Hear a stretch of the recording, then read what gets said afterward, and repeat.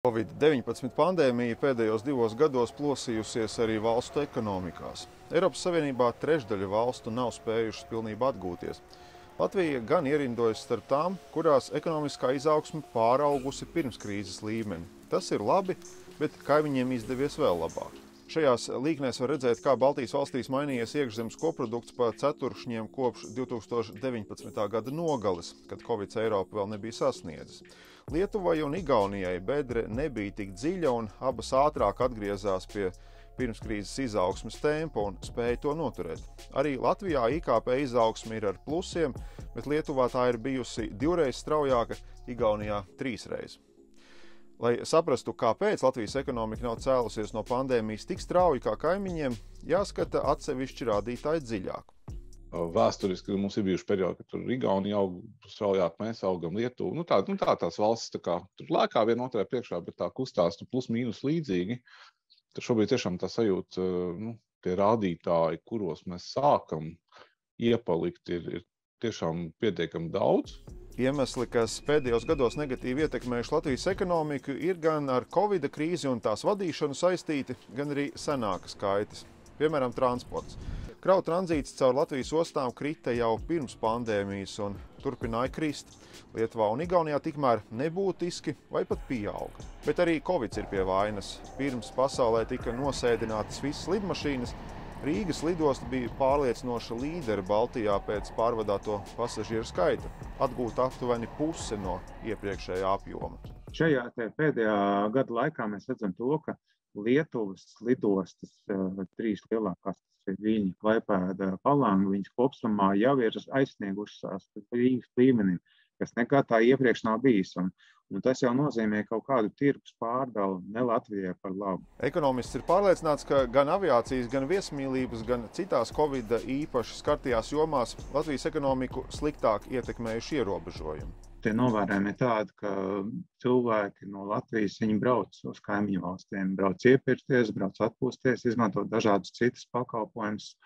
Un, kā liecina šī pieredze, tu, tur arī viņi redz, ka šie nosacījumi ir liberālāki nekā pie mums. Jau pirmajā Covid vilnī Latvijā zemāk nokrita privātais patēriņš, ko ekonomisti skaidroja arī ar skopāku atbalstu maisaimniecībām. Savukārt pēdējos Covid viļņos, kā rāda banku maksājumu karšu dati, Latvijas iedzīvotāji mēdza naudu tērēt ārzemēs. Tiesa, kritumi mazumtirdzniecībā nav ilgi paliekoši, tiklīdz ierobežojums atceļ, apjoms strauji atjaunojas, tomēr pēdas ir palikušas. Tādu pārliecinošu, ka pateikt, nu, te ir valdības lēmums un, un te mums ir uh, kritums ekonomikā pretī, uh, ir grūti. Nu, Tirdzniecībā, jā, tur, tur varbūt tiešām var redzēt vairāk, jo mums tie ierobežojumi bijuši ilgstošāki. Uh, smagnējāki, gan brīvdienas, gan tagad rudenī. Vispār nu, teiksim, mājasēdes laikā bija stingrāk ierobežojumi. Arī, arī pavasarī pirms gada bija ilgāki un smagnējāki ierobežojumi. Taču ne jau visām nozarēm gājas tik slikti. Salīdzinoši labi klājies lauksaimniecībai, veselības aprūpei, būvniecībai, finanšu sektoram, rūpniecībai. Īpaši strauji audzis preču eksports, bet tā īpatsvars ekonomikā nav tik liels kā Lietuvai un Igaunijai. Nu, tās ir tās cerīgās komponentes, jo sevišķi preču eksports, kas ir ļauj straujāk atgriezties. Mums tas muskulis ir mazāks nekā viņiem. Jā, tā.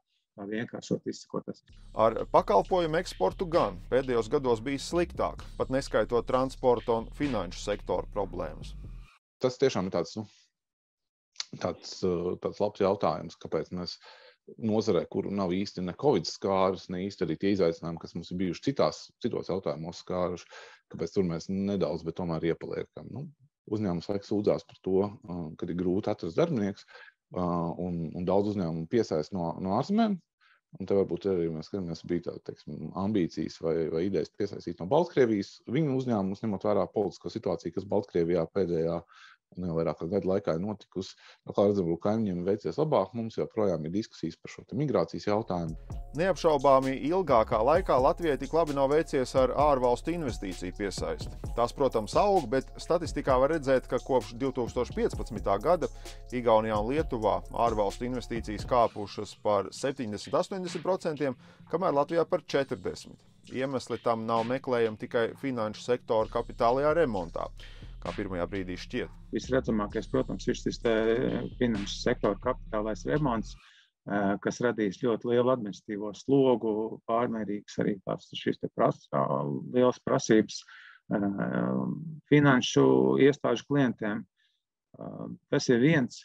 Bet arī garākā termiņā ir daudz kas cits bijis. Arī, saka, šīs te, gan darbspēka nodokļu likmes pie Latvijas ir augstāka. Es vērtēju kapitāla remontu kā ļoti, ļoti pozitīvu. Es gribētu pateikt, ka ja mēs šādu kapitāla remontu nebūtu veikuši, tad nu, Latvijas reputācijai un investoriem Latvija vispār galīgi nebūtu interesanti. Ārvalstu investoru padomes pārstāvi atzīmē, ka investīcijas reģionā ietekmējas gan Covid, gan ģeopolitiskā situācija, bet Latvijai trūks skaidri definētas priekšrocības. Ja Igaunija mēs zinām, ka tā ir e-valsts, e-Estonija, Ja Lietuvā mēs zinām, ka tas ir biznesa centru valsts par dažādiem shared service pakalpojumiem, tad Latvijā dotajā brīdī šī identitāte, ar kuru mēs sevi varam sasaistīt, un arī ar kuru investors varētu ienākt un teikt, jā, šīs biznesa virziens man ir ļoti attī,